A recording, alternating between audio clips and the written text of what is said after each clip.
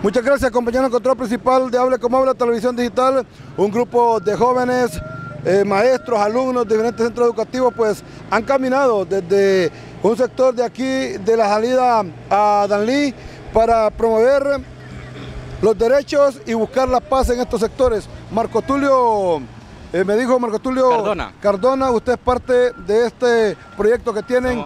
¿Quiénes han participado en esto? Así, eh, como dice usted, somos parte de, este proyecto, como parte de la Dirección Nacional de Intervención Social DINIS. Estamos también trabajando con los líderes comunitarios de la colonia Villanueva, con las escuelas, la Moisés Starman, que nos estuvo apoyando en esta caminata para la vida y la paz.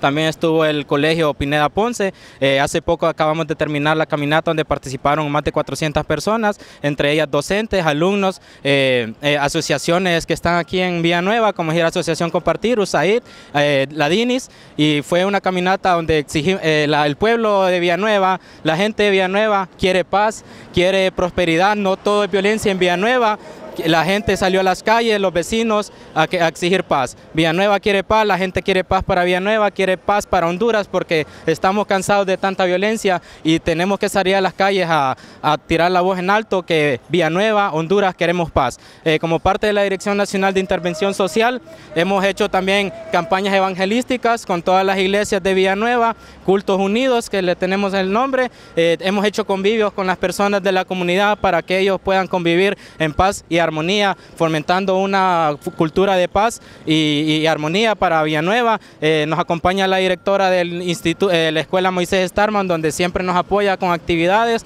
eh, campañas de limpieza y reforestación y caminatas para la vida paz. Tenemos tres caminatas, la primera caminata participaron 400 personas, la segunda caminata participaron como 200 personas y en esta participamos entre un total de entre 400 personas. ¿Qué otro lugar les corresponde para la siguiente caminata? Estamos, bueno, estamos eh, en todo a nivel nacional. Eh, yo solamente estoy en Villanueva, pero tenemos más interventores en la colonia Estados Unidos, eh, la Canaán, Monte de los Olivos, la Australia, entre otras. También tenemos regionales en Lempira, en San Pedro Sula, La Ceiba y San Luis Comayagua, donde estamos con los mm, jóvenes del, del todo, ancianos, niños, trabajando con los líderes de la comunidad para fomentar una paz y cultura sana, convivencia. Aquí la directora, no sé si nos va a dar unas palabras de, lo que está haciendo la DINES aquí en la comunidad de Villanueva. Bien, muchas gracias. Este es lo que estos jóvenes han hecho aquí en este sector, eh, bueno, buscando la paz con toda esta gente de aquí, de los sectores de Villanueva. Con este informe retornamos al control principal de Hable como Habla, Televisión Digital.